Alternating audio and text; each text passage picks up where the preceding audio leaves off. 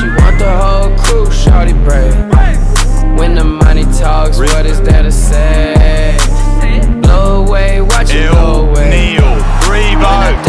can't take it And I declare the the winner of the 2023 Brownlow Medal, Lachie Neale of the Brisbane Lions.